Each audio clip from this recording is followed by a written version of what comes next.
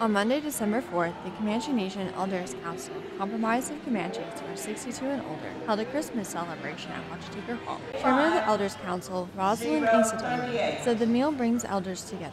That's the Indian way, is to eat together, break bread together.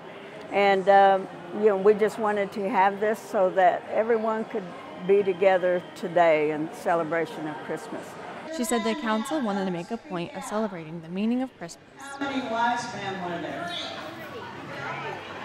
They also honored the eldest and youngest members of the Elders Council. And uh, that was Pauline Kowina. She's 99, and I believe next month, it's either January or February, she's going to be 100 years old. So we wanted to recognize her, and we recognized the, the newbies.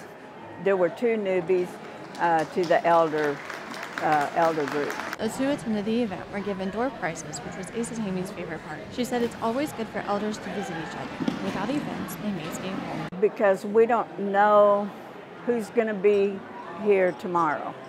You know, and I mean it's it's that way for the younger people as well, but mostly for the elders, it's always good to be together. And my mother is 94, and she wasn't able to be here today because um, Friday's event, Saturday's general council, all of that was uh, taking a toll, so she couldn't make it today. And I know there are other elders in that same situation. Asa Tamey said she was pleased with everyone who helped. This morning, bam, bam, bam, and everything came together beautifully. And then all the elders showing up and signing in, and it was just, I, I'm just amazed. I'm really pleased. Comanche Nation Chairman Mark Woommavovah also raffled off various items and helped serve the elders with Comanche Nation Junior Princess Vivian Parker. Upcoming Elders Council meetings will be on the first Monday of every month at Watchetaker Hall. Asa Tammy said the schedule would change if there were a holiday or another event. Reporting for the Comanche Nation, Kiara News, Natasha Donald.